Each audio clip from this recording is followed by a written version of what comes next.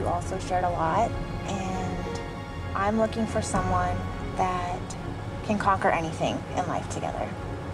So, Andrew, hmm. will you accept this rose? I will. Andrew really is one of a kind. And I just know he's going to be a really amazing husband and father. You can tell how passionate he is. You can tell how loyal he is. And he is everything I'm looking for. With how things went tonight, I could see myself falling in love and walking with Andrew at the end of this. And that feeling is so damn good.